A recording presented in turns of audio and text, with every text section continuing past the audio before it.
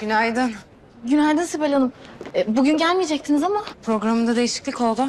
ben bütün toplantılarınızı iptal ettim. Ama isterseniz yeniden organize edebilirim hepsini. Yok yok gerek yok. Almanya hamlesine start vermenize az kaldı. Ona odaklanmak istiyorum ben. Tabii Sibel Hanım. Timur Bey nerede? Seval iyi misin? İ- iyiyim, iyiyim Sibel Hanım. Timur Bey odasındadır herhalde. Sen benimle odaya gelsene. Şu programı ayarlayalım. Tabii.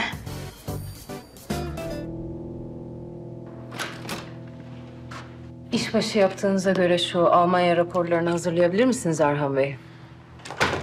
Sibel hala rapor diyorsun ya. Ben seninle aramdaki bu gerginliği konuşmak için geldim. O konuyla ilgili konuşacak bir şey yok. Ben Elif'le ilgili düşüncelerimi söyledim. Sen inanmıyorsun. Hala sakinleşmemişsin sevgilim. Peki tamam. İstediğiniz raporları hemen hazırlayıp geliyorum. Akşam saat 8'de aile yemeğimiz var. Bu gerginlikle aile yemeğine mi katılacağız? Birkaç saat idare edersin. Burhan Bey için sevgili rolü yapabiliyorsan ailem için de karısını çok seven koca rolü yaparsın bence. Sibel kırıcı oluyorsun. Ben böyle olmak istemiyorum seninle hiç. Benim çok işim var. Şu an bunları konuşmak istemiyorum. Ya Sibel. Elif'in niyeti alenen ortada madem. Benim niyetim ortada değil mi ya? Benim bütün bunları Burhan Baba için yaptığıma inanmıyor musun? Aramızın düzelmesini istiyor musun? Evet hem de çok bunu biliyorsun. O zaman eski nişanlından uzak duracaksın Erhan. Kız çat kapı benim kapıma geliyor. Sana kendini acındırmak için birkaç gözyaşı döküyor.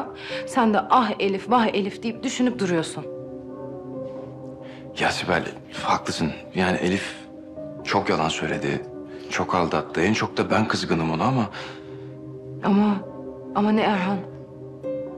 Yani Elif'in yaptıklarını söylüyorum ama sen gözünü açmıyorsun bir türlü. Sibel Elif zor zamanlar geçiriyor. Zor bir evreden geçiyor. Kendi çektiği acılar yetmiyormuş gibi bir de şimdi babasıyla uğraşıyor. Yardım etmek istiyorum sadece. Onların da başka bir beklentisi yok. Zannetmiyorum. Ben Elif'in tavrından bir şüphe duymuyorum. Duymuyorsun öyle mi? O zaman sana kelimesi kelimesine bana ne söylediğini söyleyeyim bakayım aynı şekilde düşünecek misin? Ne söyledi de bakalım. Açık açık ne yaşattıysan aynısını yaşatacağım sana dedi. Böyle tehdit etti. Hem de ne zaman yaptı bunu biliyor musun? Sana kendini acındırdıktan böyle iki saniye sonra.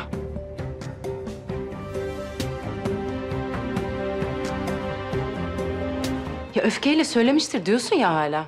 Ya sen bu kızın yaptıklarını ne kadar çabuk unuttun? Unutmadım ya. Bir şey unuttuğum falan yok Sibel. Sadece babasına destek olmak için yanındayım. Başka bir sebebi yok bunun. İnan artık lütfen ya ne olur. O toz konduramadığın o Elif var ya... ...seni manipüle etmeye çalışıyor ve bence bunu gayet iyi başarıyor. Ya Sibel yapma Allah aşkına bak dönüp dönüp aynı yere geliyoruz ya. Burhan Baba benden öyle bir istedi ki Kaz Dağları'na gitmek istiyorum dedi. Belki bir daha göremeyeceğim Erhan dedi. Lütfen dedi. Görmen lazımdı seni tanıyorum. Sen de ikna olacaktın. Tamam bu konuyu daha fazla konuşmak istemiyorum seninle. İşime dönmem lazım. Sen de işine dön. Almanya'dan haber bekliyorlar. Sırf evli olduğumuz için de işlerini aksatmaya çalışma tamam mı? Bak yine aynı şey yapıyorsun işte bu. Bu. Ne? Sabah da aynısını yaptın bana. Bana sürekli bunu yapıyorsun.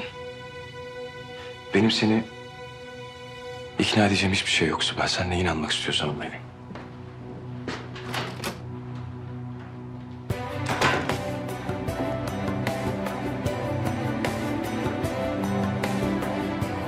Melis neredesin? Muayenedeyim canım ne oldu? Ya sen hep böyle durumlarda arıyorum da farkındayım ama canım çok sıkkın. Bir gelsen bir yerde bir kahve içsek olur mu? Ya ben de seni arayacaktım. İstersen benim muayenenin oradaki kafede buluşalım. Tamam geliyorum oraya.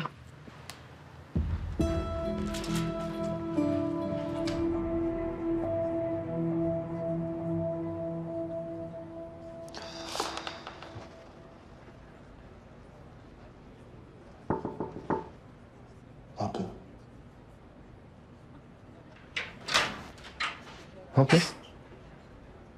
Çalışıyorum kanka. Sen ne yapıyorsun? Bunu aradı seni arıyorum. Ne oldu oğlum? Niye geldin? Ya şunları getirdim işte. Ha, Konuştuk ya. tamam unuttum. Tamam bakarım. Ne haber iyi misin? İyi, iyi yok bir şey. Yok bir şey. Erhan'cığım. Kardeşim biz eski arkadaşız ya. Bir şey yok diyorsun ha. Yıkıl bakayım. Halin yok? Anlat. Ben elime attığım her şeyi mahvetmek zorunda mıyım Samet? Erhan'cığım, kardeşim sen neden bu kafalara girdin? Gözünü seveyim ya. Ne alakası var? Şimdi deli deli konuşma Erhan. Yani bazen diyorum ki ta en başta Antalya'ya hiç gitmeseydik biz nasıl olurdu acaba her şey? Bir düşünmeden edemiyorum yani. Ya oğlum tamam şu mağazayı kurcalamayı bırak. Hayat devam ediyor sonuçta. Oğlum senin mis gibi hayatın var lan. Oğlum sen Koraslanların damadısın. Sibel Koraslan'la evlisin. Doğru söylüyorsun birader. Sibel Koraslan'la evliyim. Aynen öyle. Ha tamam. Sen Sibel'le kavga etmişsin. Tartıştınız mı? Ne oldu? Oğlum, olur böyle şeyler evlilikte. Erhan, bak bana ben bekarlık sultanlıktır kafasına takılıyorum. Ama sen öyle miydin? Hiç öyle biri değildin ki sen. Hep e, aile istedin oğlum sen. Çocuğum olsun, pikniğe gideyim hafta sonu bir şeyler. Sen istemedin mi? İstedin. E işte. Ne kurcalıyorsun oğlum sen geçmişi falan? Bak keyfine. Bırak şu geçmişi. Ben yanındayım kardeşim. Eyvallah. Erhan bu durumu kolay kolay atlatamayacak. Ya şimdiden benim yüzümden demeye başladı. Ya bu arada sana bugün söyleyecek vaktim olmadı ama Tuncay beni görmeye geldi bugün. Ha, öyle mi? Dosyasını getirmiş Elif'in. Durumunu öğrenmek için. Abim için de üzülüyorum ya. Elif için böyle çırpınıp duruyor. O da çok üzülüyor Peki durumu nasıl? Anne olma şansını kaybetti mi gerçekten? maalesef. Şaka gibi ya böyle roller değişmiş gibi değil mi? Böyle sanki ben onun yerine geçtim, o benim yerime geçti. Ay canım yapma Allah aşkına. Ne ilgisi var? Bu her kadının başına gelebilecek bir durum. Ya ben Elif'in yapacaklarından korkuyorum. Başına gelen her şeyde beni suçluyor. Ya süreç onun için çok iğne. Ama zamanla anlayacaktır senin hiçbir ilgisi olmadığını. Bilmiyorum. Ya buna ben bile emin değilim. O ne demek şimdi? Belki Antalya'da teklifte bulunmasaydı bunlar şimdi evli olacaktı. Çoluk çocuğa karışmış olacaklardı. Sibel bunu hiç kimse bilemez. Bunlar sadece varsayım. Yani sen olmasan da belki ayrılacaklardı. Ya da Elif yine anne olamayacaktı. Ben biliyorum. Sen bu kıza ikinci bir şans verdin. Geri çekilmen gerektiğinde hiç düşünmeden geri çekildin. Kendini suçlama artık lütfen. Ya içim böyle huzursuz. Erhan da öyle biliyorum. Ya inşallah mutlu oluruz yani. Ya yapma bunu işte kızın stili de tam olarak bu. Sen kendini suçlayacaksın, Erhan kendini suçlayacak. Huzurunuz kaçacak. Bu tuzağa düşme. Kocanı böyle altın tepside sunmuş gibi olacaksın o kıza.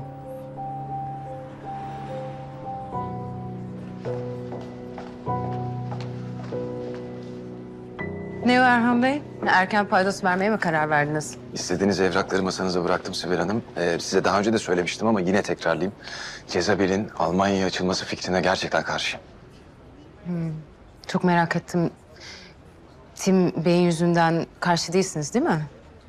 Hayır. Yani karşıt görüşlerimin sebepleri var. Merak ettim sebepleri neymiş? Kültürel farklılıklar, müşteri alışkanlıkları bizim pazarımızı biraz daraltıyor. Üzerine yüksek fiyat politikamızla birlikte müşterinin ihtiyaçlarını karşılayamaz bir hale geliyoruz. Yani kısacası feasible değil. Yani size göre biz yurt dışına bile açılamayacağız. Yok değil, öyle değil. Yani gerekli prosedürler ve stratejilerle neden olmasın? Evet. Siz bu konuda çok başarılısınız doğru. Sizden daha iyi olduğum söylenemez Sibel Hanım. Şimdi nereye peki? Eski nişanlınız ve ailesinin yanındaki mesainize mi? Akşam sekizdeki yemeği unutma. Yok unutmadım merak etme. Ben damatlık görevimi sonuna kadar yapacağım. Sizi utandıracak en ufak bir şey yapmam merak etmeyin. Yo merak etmiyorum zaten. Oyunculuk performansınız ortada zaten ha?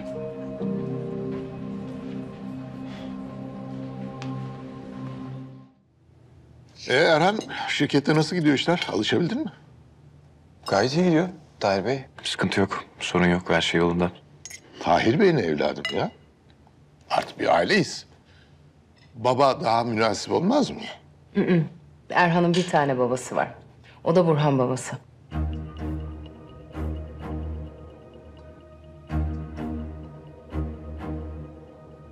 Ablacığım sen e, şirkette reklam stratejileri dosyasına bakabildin mi? Konuşamadık hiç.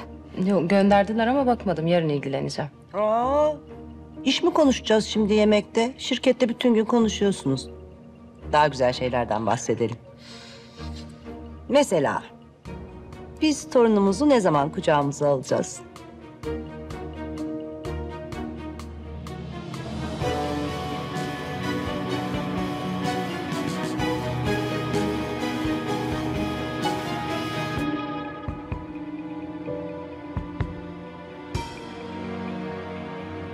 Yani biliyorum sizin de kendinize göre muhakkak planınız, programınız var ama bizim de yaşımız ilerledi. Yani Sibel'in bebeğini kucağımıza alsak, öpsek, koklasak iyi olmaz mı Tahir Bey? Çok güzel olur ya. Çocuk bir ailenin neşesidir. Hem de nasıl? Ya bak şimdi aile falan deyince şu- şöyle diyorum. Yarın sabah ailece bir kahvaltıya gitsek. Yelken kulübüne bir yer ayırsak ha? Ne dersiniz iyi olmaz mı? Harika olur. Yarın için benim müsaitliğim yok kusura bakmayın o yüzden. Başka zaman katılabilirim. Erhan yarın Elif'in ailesiyle Burhan babalarını tatile götürecek. İki üç gün yok. Sen hala görüşüyor musun onlarla? Evet Tahir Bey kısa bir süreliğine yani Burhan babanın sağlığı için. Burhan Bey bizim için de çok değerli gerçekten. Ama oğlum senin kızıyla olan eski ilişkin, şimdi Tuncay'la olan ilişkileri biraz... Evet evet her şey çok karışık anne haklısın. Benim açımdan karışık bir şey yok aslında pek. Yani Burhan babanın sağlığı için onların yanındayım. Bir düzelsin, bir ayağa kalksın, bir toparlasın. Sonra işim bitecek zaten o tarafla. Endişe etmenizi gerektirecek bir durum yok yani. Bana kalırsa böyle bir şeyin hiçbir gerekçesi olamaz. Ben diyorum ki bence hiç böyle şeyler konuşmayalım. Erhan abi benim canım eniştemi bu gergin koraslan yemeklerine misafir etmeyelim. Nesi varmış ailemizin, yemeklerimizin? Aklı başında herkes Koraslan ailesine dahil olmanın ne kadar şanslı bir şey olduğunu bilir. Tahir Bey, bence fazla uzatmayalım. Erhan bizim ne demek istediğimizi anladı. Ve eminim ona göre düşünecektir de. Anladım efendim. Üzerine de düşüneceğimden emin olabilirsiniz. Belki bir kıyaslama yaparsın Elif'in ailesiyle. Hı? Nasıl yani? Erhan, biz yemekten sonra seninle benim çalışma odasına geçelim mi? Şöyle erkek erkeğe baş başa konuşuruz. Tabii. Erkek erkeğe. Nasihat dinleyeceğim anlaşılan biraz. Ya ya nasihat değil. Sohbet. Fikirlerimi dinlemek istersen tabii. Estağfurullah Tahir Bey. Her zaman.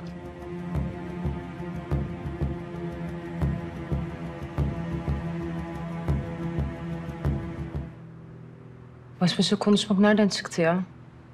Babam sağlam nutuk çekecek gibi. Ama ne demek nereden çıktı? İşte damadıyla konuşmak istemiş. Bu kadar gerilecek bir şey yok. Ya ablacığım cidden soruyorum. Ya beni o kadar tembihledikten sonra niye babama söylüyorsun tatile gideceklerini? Ay sinir oldum söyledim öyle işte. Sibel'cim benim güzel kızım. Bak ben Erhan'ı çok seviyorum. Gerçekten çok efendi bir çocuk ama... ...bu kızın ailesinden biraz uzak durmalı artık. Evet haklısın biliyorum. Ama bana ne diyemez ki? Ya sırtını çeviremez ki onlara. Ya zaten de bu yüzden seviyorum ama aynı zamanda o kadar sinir oluyorum ki bu huyuna. Aşk bir dengesizlik işi diyebiliriz o zaman. Bak sen.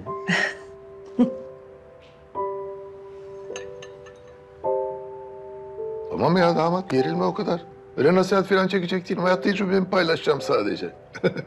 Bak bir insanın babasıyla vakit geçirmesi çok önemlidir.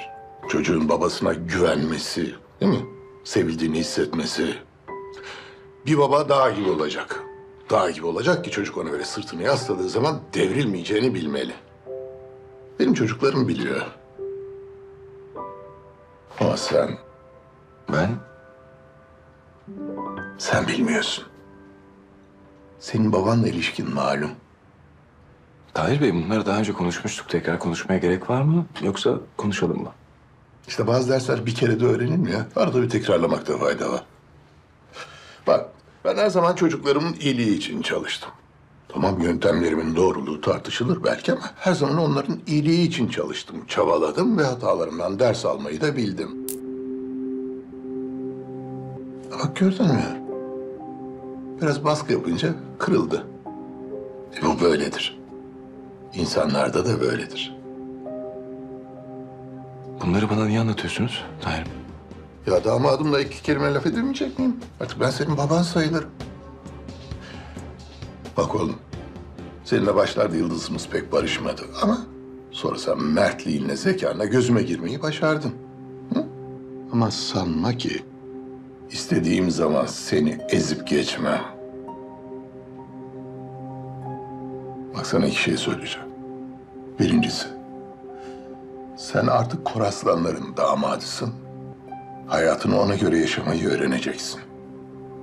Koraslan soyadını temsil ediyorsun. İkincisi, Sibel'le evli olsan da, Koraslan soyadını temsil etsen de...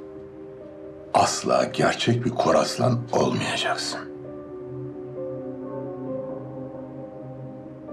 Tahir Bey hiç öyle bir derdim yok ya benim. Yani ben Sibel'le zengin olduğu için ya da benim hayatımı kolaylaştıracağı için falan evlenmedim. Ben Sibel'le aşık olduğum için evlendim. Bilin. Yani ölene kadar Bursa'nın Gecekondu mahallesinden çıkmış, babası tarafından terk edilen Erhan olmakta hiçbir sakınca yok, öyle mi? Yok. Yok. Ben soyadımı da seviyorum. Hiçbir sıkıntı yok hem de. Bak bunu duyduğuma çok sevindim. Yoksa öyle sırtımı Sibel'e, bizim ailemize dayayıp... ...öyle kafana göre yaşamana asla izin vermem. Tahir Bey içeri geçelim mi? Saat geç oldu malum. Karı koca biz erken kaçmak isteriz belki. Geç oldu. Ne oldu damat? Nasihat dinlemekten sıkıldın mı yoksa? Yok estağfurullah. Siz bu konuşmayı benimle gücünüzü göstermek için yapmadınız mı? Zaten. Anladım. Nasıl istersen. Buyur.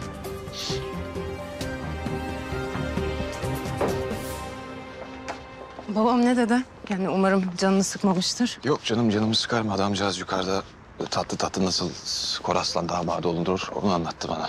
Ya kötü bir niyeti yoktur. Masadaki gerginliği fark ettiği için öyle bir şey yaptı. E Sibel işte gergin. Ben sana dedim sabah konuştuk da. Bu gerginlikle mi gideceğiz eve dedim.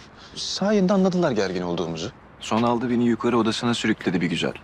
Orada yine bir güzel beni üstü kapalı tehdit etti. Nasıl Koraslanlara layık bir damat olurum bana onu anlattı. Yani daha sayayım mı? Ha bu şimdi benim suçum mu oldu? Hı? Benim suçum mu oluyor yani? Sen eski nişanlınla tatile gitmeseydin bu gerginlik olmayacaktı. Bu konuşma da yapılmayacaktı. Ya bizim konuşacak başka bir şeyimiz yok mu Sibel? Konu sürekli dönüp dönüp buraya gelmek zorunda mı ya? Evet zorunda. Çünkü ben bu durumu atlatamıyorum. Ve sen ne dersen de bu normal bir durum değil benim için. Ya sevgilim çaresizim ya. Çıkışım yok bayağı benim. Burhan babanın yanında olmak zorundayım çünkü o benim bu hayatta babam gibi gördüğüm tek insan. Ne olur anla beni ya.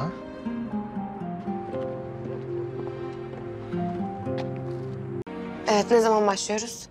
Operasyonumuz Kazanova'nın gelmesiyle başlayacak. Herkes benden talimat bekleyecek. Ne yapacağınızı hatırlıyorsunuz değil mi? Evet. Hatırlıyoruz da ben nasıl yapacağım hiç bilmiyorum. O adamla yan yana bile gelmek istemiyorum. Seval'cim inan aynı duyguları besliyoruz. Hatta ben çok da agresif şeyler yapmak istiyorum kendisine ama plana sadık kalmalıyız. Yani katılıyorum. Bunu tuzağa düşürdüğü ve düşüreceği bütün kadınlar düşünerek yapman lazım Seval. Tamam. Yapacağım. Seval, oyuna sen başlıyorsun biliyorsun. Birazdan gelir. Hadi kalkalım. Günaydın. Günaydın. Kahve içeriz demiştik ya. Şimdi içmek ister misin? Daha fazla ertelemeyelim dedim de. Olur tabii. Çok iyi olur hem de. Günaydın. Günaydın. Hava çok güzel. Terasa çıkalım mı? Olur çıkalım. Canım sen de bize yukarıya kahve söylersin.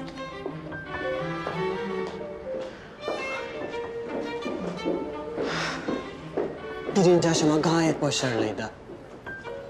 Yalnız Begüm'e helal olsun. Yani adamı boğmak isterken o kadar iyi oynadı ki. Seval'cim, çok güzeldi. Ama ikinci roundda birazcık daha gerçekçi ve vurgulu olman gerekiyor. Of Tansel. Of. Zaten gerginim. E, Gelme beni daha fazla. Gerilme, gerilme ya. Hadi çıkalım hadi. Arkadaşım çok güzel bir mekan açmış. Yarın beraber gidelim ister misin? Tabii ki zevkle. Harika. O zaman ikimiz adına rezervasyon yaptırıyorum. Tamam, buradayken ben de hiç eğlenmeye çıkmamıştım. Güzel olacak benim için. Süper. Birinden telefon mu bekliyorsun? Ha yok e, bir iş yemeği için organizasyondan haber bekliyorum. Anladım. Timur ben sana bir şey söylemek istiyorum ama çok çekiniyorum. Ne? Rahat ol söyle Begüm. Ben senden çok hoşlanıyorum. Bizimkisiler karşılıklı. Ben de senden çok hoşlanıyorum. Çok pardon. Bu telefona bakmam lazım. Tamam.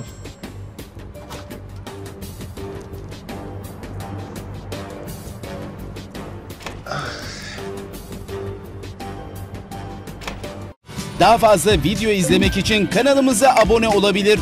İlk izleyen olmak isterseniz bildirimleri açabilirsiniz.